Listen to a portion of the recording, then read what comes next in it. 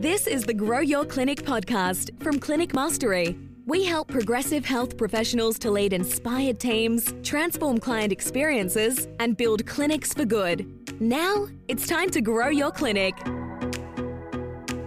Well, welcome back to another episode of the Grow Your Clinic podcast. I'm your host, Jack O'Brien, and it has been a whirlwind of activity here at the podcast. Thank you so much for tuning in once again. As you'll know, we have released a bunch of guest episodes recently. We had Emily Connett from Newcastle Creative Co., Damien Adler from Power Diary, and a stack of others. And today, we've got same, same, but different. We do have another guest, but this is a slightly different flavor of guest, and I can't wait for you to meet and listen to the incredible stories of Kate Heslop, who is our guest today. Kate, welcome to the podcast. How are you today? Very well, thank you. Very excited to be here. Super stuff. Super. So, Kate has been uh, part of our Clinic Mastery Business Academy and a graduate through the Academy, one of our first members actually, and continues to to strive ahead in leaps and bounds. It's uh, it's actually quite inspiring to me your story, Kate. But um, we're going to dive into your story of clinic growth and and freedom and travel and what you've learned throughout your journey. Is that all right? Sounds good. Super. Before we get started, I have a couple of icebreaker questions for you. It's going to be rapid fire, whatever comes top of mind. Is that okay? Done. Super. Okay. What are you reading right now? I am rereading Radical Candor by Kim Scott. Um, yes, I figured it's worth a second look at. Why is that? Um, the first time I read it, I think I was overwhelmed with realizing where I sat in the quadrant, if anyone's read it. Uh-huh. Um, and so I took more about me away from it. And this time I'd really like to take away how I can introduce radical candor to the team um, mm-hmm. and we can use it in the clinic. Love it. Quickly, then, where do you sit on the care personally challenge directly axes? look, I'm ruinously empathetic, but very much trying to pursue radical candor on all fronts. Love it. Appreciate the uh, the honesty straight straight off the bat. I love it. A bit of vulnerability, Brene Brown style. Who inspires you, Kate? Um, I've been thinking about who inspires me, and I don't really have a specific person.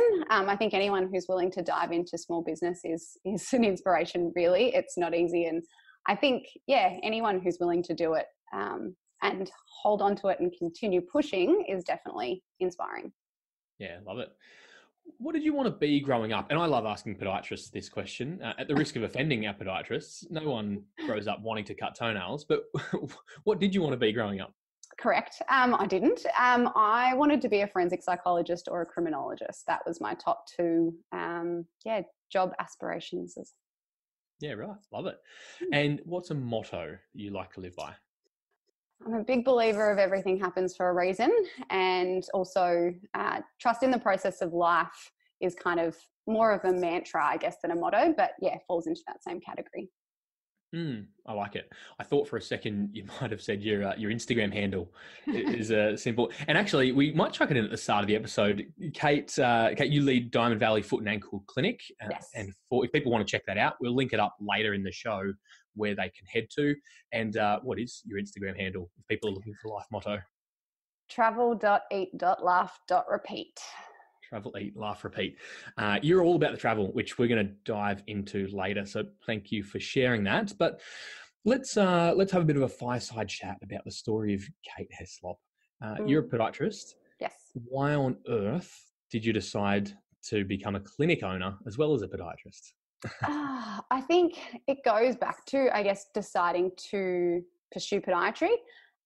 It kind of was always, well, if I do podiatry, I'll have a clinic. That was always kind of what happened in my mind. Um, yeah, my mum was a, a physio, um, right. and I think that maybe had some undertone in why I decided to do podiatry. But I wanted to be able to have a job where I could work part time, but I guess earn potentially a full time income to have a small family. My mum was at home two days a week with me, which I thought was awesome, and I love our relationship. So I very much wanted to emulate that, and I thought having a small business would be a good opportunity to do that. Mm, nice. And so you start your own clinic or buy someone else's? I bought a clinic that was running two days a week. Great. And so you bought it solo? Yes. Right. Nice. What was that first six months like? Uh, interesting. I kind of was just living off the smell of an oily rag, really. Go to work treat 15 patients a day. I was working another part time job at that point in time as well. So that kind of kept me afloat while I found my feet, which was good. Um, but then, you know, more demand with the business, which is what you want, obviously. Mm-hmm. But um, so I just started opening up half days and full days as the demand came about. And yeah, the six first six months went really quickly um, and was very overwhelming. And yeah, I soon realized I had a bit of a glorified job at that point. and uh, it, it, was probably like most of us, myself included, a job where you worked long hours, probably didn't get paid enough, and didn't have enough holidays, right? Correct. and so, how far into your business ownership journey was the first hire, your first team member joined? Oh, um, I did what most people do and started trying to get, I guess, a, a locum or a subcontractor to, I guess, mitigate my risk more than anything. Right. Um, it seemed pretty scary to hire an employee, so I just went for the contractor option. That would have been two and a half years in. Okay, so you, you chugged away solo for quite a period. Yes, a very long time. I had no receptionist. I was everything. It was me, me, and me. what are some of the skills that you learned early on that you're really grateful came to you? Obviously, you're probably a good podiatrist. We can assume as much. But outside of podiatry, what were some of the skills you learned? I multitasking. I became very, very good at multitasking. Um, sometimes that's not a positive, but definitely became good at juggling a lot of things. And I think that saying of give a busy person something to do and it'll get done, I was very good at getting everything done, but I was definitely burning the candle at both ends because of that constant need to be working. Like you said, it, it was you know virtually 24 7 you'd go to sleep dreaming about it or you'd mm-hmm. you know be up late working on your laptop and doing letters to gps and trying to do you know really poor low grade marketing as well it was just yeah it was a it was an ongoing slog yeah okay that's a that's a really good picture. So you were a pretty young podiatrist, bought a little clinic, and slaved away for a couple of years solo. Mm-hmm. We're gonna we're gonna go through the journey, but fast forward to now. What does it look like now? Now we are in our own freestanding building clinic. Um, we have a team of three other podiatrists and myself. Um, and two admin superstars. So the business is very, very different to what it was.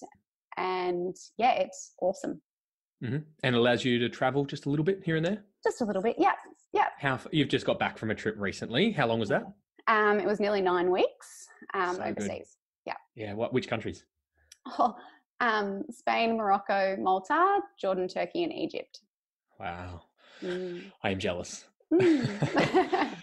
so that, that's awesome to know where it's at. So let's let's dive through some of the steps and the, the journey along the way how did you grow and add extra practitioners, locations? What were some of the things that worked really well for you?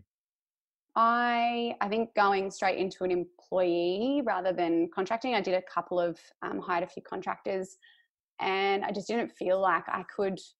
I don't know, get them to do the things that you know you need someone that's working with you to do. And so that was probably my biggest false start as a business owner. And so as soon as I did actually look at employing, which without plugging Clinic Mastery was definitely um, a good push from the team at CM. Um, and when that happened, everything changed. I learned a lot even after that. I mean, I'm always forever learning as a business mm, owner. That's how um. And as a leader, um, I think that's a never ending journey. But sure. first time around, I was very much like, what hours suit you? What works for you? And now I've realized that you know, as much as autonomy and those kinds of things are really great, a lot of people need some direction and they need a leader to follow. So mm. I learned mm. very quickly that being everyone's best friend is not always the way to go. I'm a people pleaser by nature.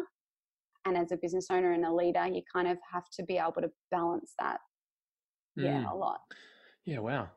That's an, a really important lesson to learn. Yeah, to to overcome some of those fears of your of your own insecurities, and then working out what's going to be a win win. It sounds like you were with your perhaps earlier hires, creating wins for them, perhaps at your own expense. Correct, definitely. Yeah, right. Okay. And how about attracting new clients and actually growing their caseload? How do you how do you grow a clinic? So we I guess, held on to what we had and tried to move people across to them rather than getting new patients in at the start, which um, didn't really work that well. Um, patients generally liked seeing who they were already seeing. And so we did a really big social media push at the start. So it came hand in hand, my first employee, with um, a February Instagram challenge from the team at CM, which we mm-hmm. grabbed with both hands and run with. And it was kind of just a really good start for our new team member to take hold of, you know, social media and realize the content that we can create can create some really nice um, new patients walking in the door and right. kind of less lottery of who comes in and more our ideal patient who mm. we want coming into the clinic. Yeah, right. That's awesome. What about the the other stuff in and around running a business? What what systems, processes are you really glad that you put in place early on? Our HQ, so um, our kind of intranet at the mm-hmm. clinic, has been worth its weight in gold. Like I, I remember so well um, moments when you know you'd have worked for hours and hours trying to fill this database of information with how to turn on the sterilizer, how to you know record a phone message, how to do all of these things and it was really disheartening when the team would not look at it mm-hmm. um, mm-hmm. after you'd spent all of this time at it. But once I managed to get the team to use it effectively, it, mm. that's essentially what has made traveling for me so easy because it's it's all there for the team to find. So that was a massive one, and obviously that holds all of our policies, procedures, and systems. But yeah, having just having a home for it that's easy yep. for them to find has been life changing. Yeah, right. And that's uh, for for listeners. That's something that we provide through the Clinic Mastery Business Academy. Uh, our done for you Google Hub with uh, all your policies, procedures as a cloud based intranet. And Kate, is that something that you're able to set and forget, or is it still a work in progress?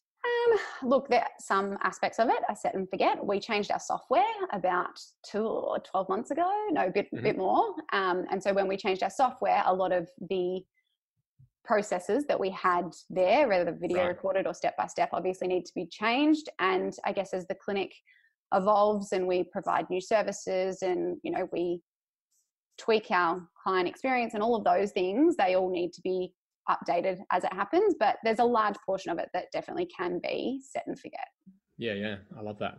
So good really important insights to clinic growth there, Kate. But can you touch on? Let's talk about you now. You've you alluded to you're a little bit ruinously empathetic at times, and early days were maybe a little bit of a pushover. What are some leadership principles or lessons that you've learnt along the way?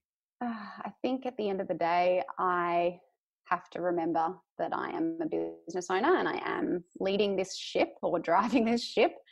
And so I think, yeah, being sticking to my word is is definitely something I've gotten better at. I used to, if someone ever kind of ummed or ahed about something I'd said, very quickly kind of, oh, maybe we can talk about it. Um, mm-hmm. Whereas now I'm very much, you know, no, that's the decision I've made, and you know, it's for the better of the team and the clinic, um, and so that's what's happening. Yeah, without being, I guess, obnoxiously aggressive about it. Sorry right. to keep going back to it's good. It's unbelievable. Radical candor. Um, yeah, I, I, found that that finding that balance between radical candor and sometimes being obnoxiously aggressive was also a fine line. So definitely being able to explain to the team, I guess, why we're putting something in place and how it affects them, how it affects the business, the clinic, and the patients. You know, they kind of understand why that little bit better. And I think being able to lead by example in following the things that I'm putting in place has also been, um, yeah, really beneficial.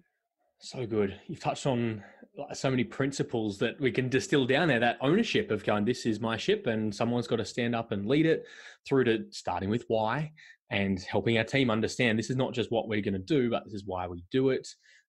Uh, creating win-wins, I love it. That's and I think through that, you know, if I can just brag on you for a second, you've been able to you've been able to stay true to yourself, and you're still the bubbly, bright Kate who has her style and her personality that people are really attracted to and yet for everyone watching from the outside your leadership and stature posture almost has has risen and grown uh, to create you know what you dreamt of all those years ago which now enables you to travel. And since then you've been able to sell one of your clinics. So you had two locations now back to one yes. which is which is an awesome story. So firstly, tell us where did that? We're going to uh, mindful of um, anonymity and privacy here, but where did that buyer come from? Were they just random out of the white pages? Where did they come from? Um, no, so our little satellite clinic that we set up, um, I had a podiatrist working out there two days a week, and at our current location, Greensborough location as well. Um, and she was a little pocket rocket and legend. She worked out there and yeah, helped me massively with that satellite clinic. We put a lot of the same things in place. We had our own intranet for that as well, because obviously different location, different poli- well, not mm-hmm. policies, but different procedures and systems. And at one point or another, I kind of didn't feel like I had all my ducks in a row. I didn't feel like I had enough control over the situation, and I offered the clinic to the podiatrist that I had out there um, at the location. At that point in time, it didn't suit her uh, where she was at. Um, mm-hmm. She was getting married, and a lot of things were happening, and so it kind of just just talked about and then taken off the table due to timing. Big believer of everything happens for a reason. And then, yeah, uh, last year, yeah, it was it was brought back up by the podiatrist that she maybe was at a different point in her life and was interested in in taking over the clinic. And yeah, I, I think it made sense. I see a lot of me in that podiatrist as well, and I thought it was a really good opportunity for her. And I, I kind of feel like I was giving back. I, I had this awesome opportunity to buy a business that was two days a week, and there was so many things in in this story that was kind of mirroring up to what I was at, you know, six years ago. So mm. it just seemed like a bit of a no brainer to do it. So, yeah. Amazing.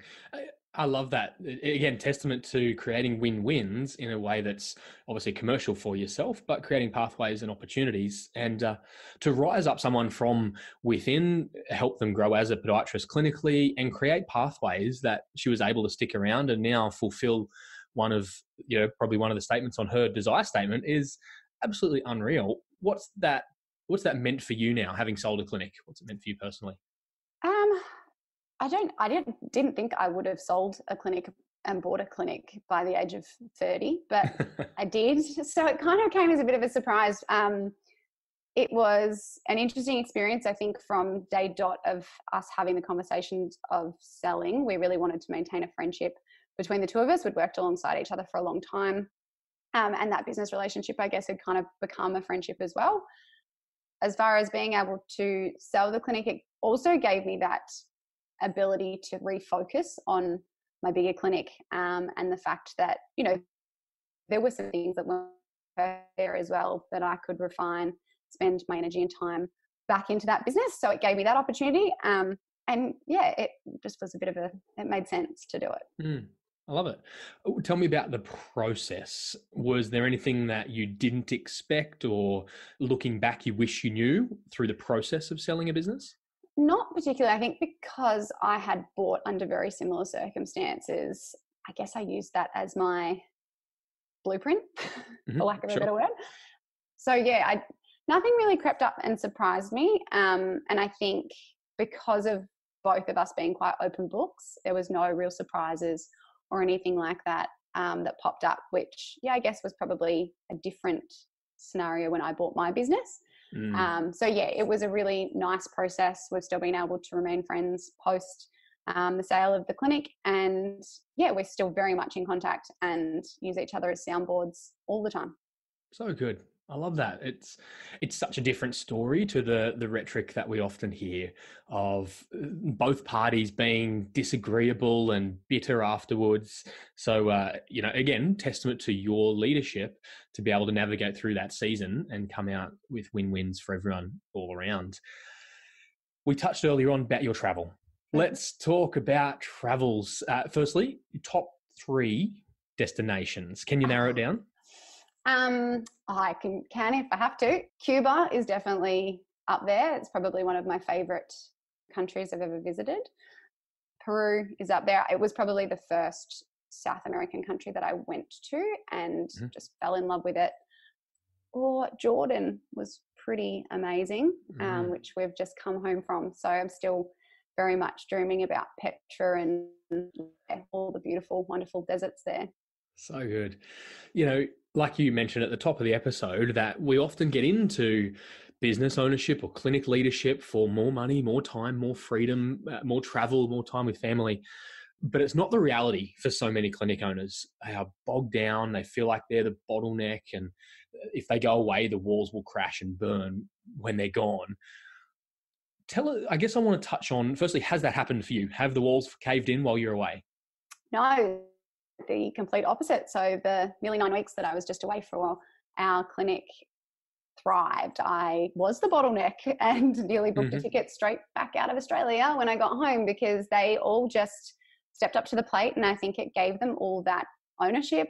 They realized that they could do things without me and that they, yeah, had the initiative and their decisions were all decisions that I would have made myself or approved if I was there.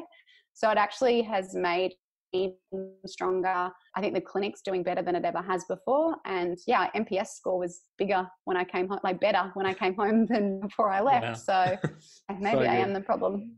That's um that's a, a satisfaction measure for those playing along at home. Was that always the way though, Kate? What about early on when you travelled? Was there any walls crashing in crashing down? Not walls crashing down, but yeah, there was definitely um, or spot fires to put out when I came home. I remember coming home from a six week holiday a couple of years ago, and um, there was a two A4 pages of things that had either gone wrong or someone needed to talk to me about something that had happened while I was away. And this time, that definitely didn't happen. I, I remember so clearly coming home this trip and saying, you know, there was all the nice, how was your trip? Blah, blah, blah. Um, and then I was like, yeah, really good. So what do I need to fix? And it was literally a nothing. And I had to, I was like, ha, good joke. Like, and no, there was literally not one thing that I needed to fix. Whereas retrospectively, back to, you know, two years ago, yeah, I came home and there was, you know, a list of spot fires that had to be put out when I came home. Interesting. Very interesting. Tell me, do you ever get pushback from your team that you're not around much? No, not at all, actually. No? What, what, what's their sentiments when you say, I'm going overseas for nine weeks? What's their reaction? Uh, I think the team sees the behind the scenes of being a business owner, solo business owner as well. I don't have a business partner. Um, mm-hmm. And it just, you know, your workload doesn't really ever stop. I am flicking emails off at sometimes 10 o'clock at night, you know, sending Slack messages while I think of them at that time as well. And I think the team realizes and sees, I guess, the hard work that I put in and I guess the effort towards it being somewhere that people want to go to work. That they, yeah, they were like, go for it, you deserve it. When I told them I was taking nearly nine weeks. Mm. It's awesome.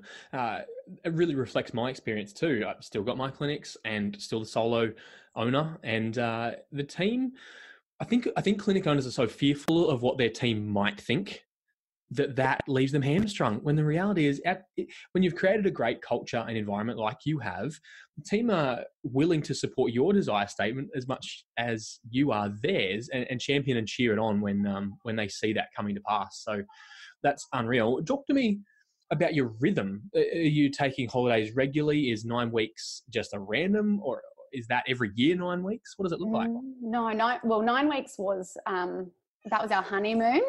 Okay, so yeah. it was a little bit of a special one, um, but we do generally try and take kind of alternate two weeks in the middle of the year one year, and then a longer. Previously, it's been kind of six weeks um, leave, and this one was a longer one. So yeah, kind of if we go two weeks, six or five weeks, um, two weeks, you know, repeat. Nice. Rinse and yep. repeat.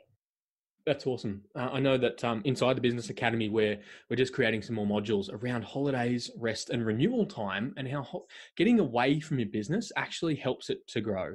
When you can get out of the way, you, you pressure test and you see what breaks, allows you to come back and fix it, and it, it's a great litmus test of how well you are actually working towards your dream and vision of creating a clinic that supports your dreams and passions. So uh, I, I, love that and i would encourage listeners to think about how can you perhaps this time of year at the time of recording we're coming close to christmas now and perhaps next year can you think about taking six weeks of renewal time?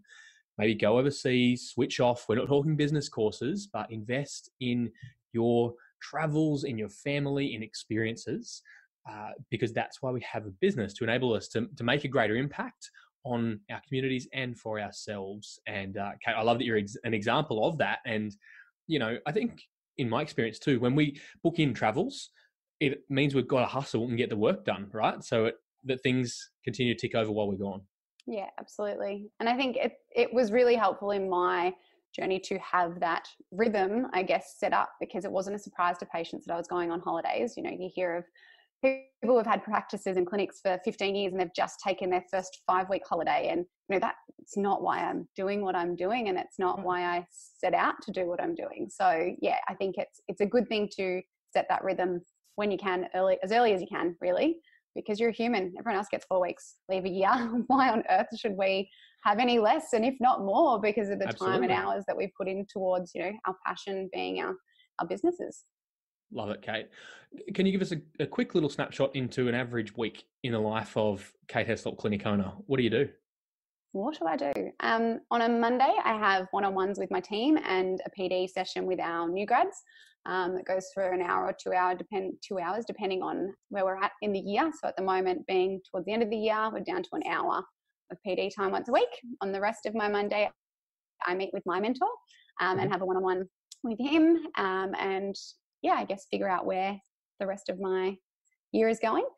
Other than that, we are about to open a shoe store as well. So there's been a lot of, you know, meeting with software companies to see their demos and those kinds of things as well. Tuesdays, I treat all day still, 8 till mm-hmm. 5 on a Tuesday. Uh, Wednesday, I'm currently supervising third year podiatry students at La Trobe.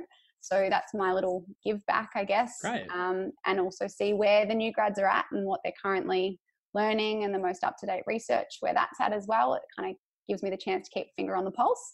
Mm-hmm. Um, Thursdays back in the clinic 8 till 5, and Fridays is Pilates at 10 o'clock. Uh, that's a new one this half of nice. the year. Um, a bit of me time, and then a one on one back in the clinic. And then Friday afternoon, I'm yeah either figuring out. Um, I try and time block my time so that I can actually be as effective as possible. But most of the time, it's either meeting with um, an allied health professional in our area or a referrer, along with trying to plan for yeah the rest of the quarter. So good. Kate, you're a bloody legend, and uh, we've loved having you around the CM community uh, for an extended period of time now. And uh, yeah, you're, a real testament to a hustler and someone who gets the work done, and yeah, is, is really self-aware and open to growth. What's what's next? Where do you see your clinic going in the next 12 months? The clinic, I think we will end up being at virtually capacity in the next 12 months, which is great, but bad at the same time. Um, so the clinic, I can see, yeah, being at full capacity in the next probably six months if I'm realistic. We're opening a shoe shop, like I said, so that's going to be a completely different ball game for me. Um, the world of retail, small business, is very new and very scary. Um, so that's going to be probably my more of my focus, if I'm honest, in the next mm-hmm. 12 months. And then I do still have a pie in the sky of having a secondary clinic somewhere within you know the demographic of where I live would be mm-hmm. amazing, and that's definitely kind of on the agenda. I'm just trying to figure out location and yeah whether I, I start from scratch or buy something that's pre-existing um, mm-hmm. there's definitely pros and cons to both but that's kind of my next 12 year probably 18 month projection yeah nice i love it i love it and what about travel where are you off to next i actually don't have anything booked in i feel like i'm letting oh, you down now I don't have anything booked in now. Um, I, there'll be a two week holiday at some point next year. Um, mm-hmm. I do have a couple of team members who I definitely owe some some leave to. So um, everyone's got their holidays in for next year, and they'll make something work around those times. For myself and my husband Adam will take a two week holiday somewhere, yeah. probably not quite as exotic, but um, yeah, it'll definitely be two weeks leave in the next little while. Brilliant. So good, Kate. Thank you so much for sharing and, and being open. We really appreciate it. And I'm I'm sure listeners have been thrilled as they uh, listen to your journey. If people want to check out your clinic or your personal travel Instagram happenings, how mm-hmm. can they do that? Um, so our clinic is Diamond Valley Foot and Ankle Clinic.com.au. That's our website, and my travel Instagram is travel.eat.laugh.repeat. Um, so both of those are yeah at your disposal. Super. We'll link all that up in the show notes, listeners. You can head over to clinicmastery.com forward slash podcast, find the episode with Kate Heslop, and you'll find all the links and connections there. Kate, again, thank you so much. It's been an absolute blast having you on the podcast. Pleasure. Thanks, Jack. And listeners, thank you for tuning in. Make sure you head over to clinicmastery.com forward slash podcast, and we cannot wait to bring you another episode again really soon. Bye for now. Thanks for tuning in to the Grow Your Clinic podcast. To find out more about past episodes or how we can help you, head to www.clinicmastery.com forward slash podcast. And please remember to rate and review us on your podcast player of choice. See you on the next episode.